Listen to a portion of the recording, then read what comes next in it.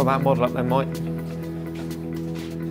Although we're making instruments that are going into space, some of the fundamentals within the instrument is actually just raw engineering.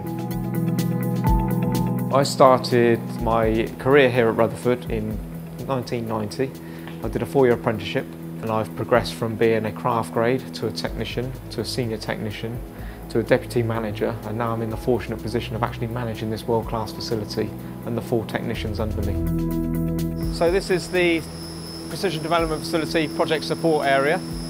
In here we've got some of the latest CNC technologies. This is the CNC nano machining area. Uh, this is where we've invested in the very latest CNC technologies. This is a flagship model, Kern Pyramid Nano. There's only four of these in the UK. Very accurate machine. We use cutters as small as a hair on this machine to be able to drill holes and machine some of the complex features on some of the devices we're involved in making. We're in a very privileged position in that we're at the forefront of driving technology forward, not just CNC machines, but water jet cutters, CNC EDM machines. One of my favourite machines is this. This is a Swiss-made micromill. It's very old now. This is about 15 years old. It's typically what Swiss watchmakers used to use to make the small cogs, the intricate parts in the very expensive watches.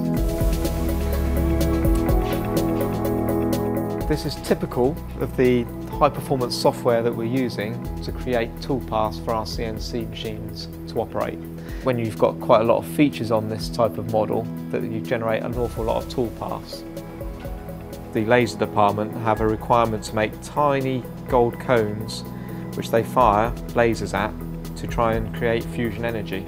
It's made of pure gold, very soft, difficult to machine. With the assistance we gave them in manufacturing these geometries, they've actually proved the science and we were key to being involved in that. My personal career just gives you an indication of what is achievable. I'm an ambassador for the apprenticeship scheme and we get a lot of young adults coming through here. We show them the work and you can see their eyes opening in awe of what they could be doing in the future. I get a lot of job satisfaction from working here, using this very latest technology and also the fact that every job is different. That's a big stimulus. We never really know what we're doing in two months' time and because of the complex nature of the work as well and the, the thought process that, that are required to manufacture these components, um, that's where the job satisfaction comes in and also the, the knowing that you've had something manufactured in my area that's now orbiting the Earth and making a difference to science.